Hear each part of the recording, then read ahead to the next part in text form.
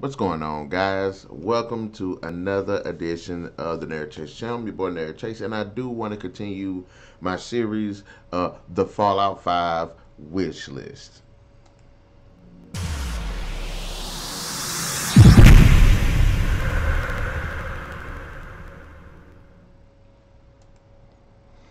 Well, continuing on, this is part 11.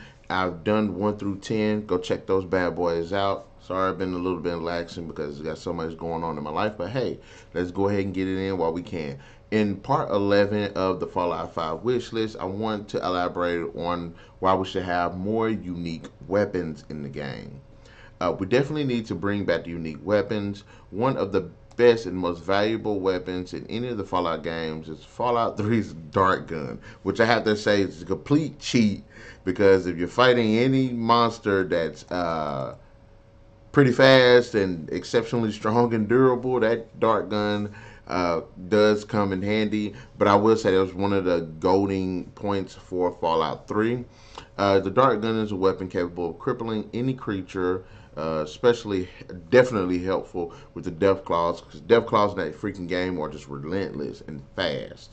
Um, uh, and other examples are the Rock-It Launcher, the drone cannon, the railway rifle, and the mesmertron. Which the mesmertron was actually pretty cool because you used it to uh, make get slaves. You you mesmertron the person, they be dazed. You put the slave collar on them, and um, the railway rifle was uh, pretty cool. It, was, it had this. Uh, it was basically like a like you know train thing. You take the the spikes from the uh, rails of a and you use that as a weapon. And I like when you shot it, it made that weird sound like a train. Uh, I can't remember what the drone cannon was. I hadn't played it in a while. The Rock-It Launcher was basically you shot trash. Uh, I think that was. I think that's what it was. At least in Fallout Three. Um, and what about in New Vegas? New Vegas also featured the Tesla uh, Beaton uh, Beaton uh, prototype, which I actually like that one. It shoots a shot of electrical charge, exceptionally powerful gun. The Golden Gloves and the Yao Guai uh, Gauntlet which the Yao Guai, uh, Yao Gauntlet was actually a really uh, effective weapon um, for close combat. Um, Fallout 4 even introduced some unique weapons, including the cryo the cryolator, which froze uh, enemies. The uh, crim crims tooth. It's this curved, jagged knife that uh, it, I believe it poisoned uh, the person you were hitting uh, the broadsider, which was a freaking cannon shooting cannonballs. That thing was freaking awesome, and the junk the junk jet, which shot trash and and and loot and stuff like that, which was also pretty cool. But we just don't need legendary we weapons, which are souped up versions of the normal weapons. We need specific weapons that are different from all the others. Now, a lot of weapons and uh, Fallout 4 were, were legendary ones, and there there weren't that many specific. Sorry, sorry, uh, but the Broadsider and the Cryolator were probably my favorite in that game. Uh, if the game features hundred weapons, then maybe ten weapons are on, are the only of their kind with their own specific attributes and abilities. I would actually say about 15 to 20 uh, and make them exceptionally hard to get to. That way, getting them um, is more of appreciative effort.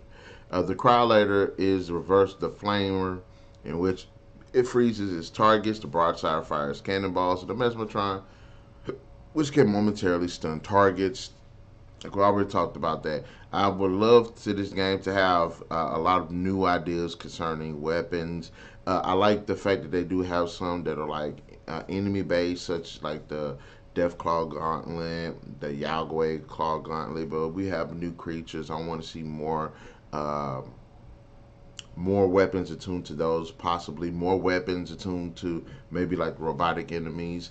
In Fallout 4, there is this mission which you end up getting the head of one of those assaultrons, and it fires off laser blasts. Now, it sucks that it builds uh, it, it builds up your radiation in the process, but it's actually a pretty cool gun, especially if you give it to a different companion. But in, uh, in the comment section below, guys, let me know your thoughts about what type of unique weapons you either want to see return for Fallout 5 or uh, ideas for new weapons that should be presented uh, in the game as original uh, specific weapons. Uh, also, be sure to hit that like, share, subscribe, and that notification button to get the best of what's going on on this channel. And we'll catch you guys later.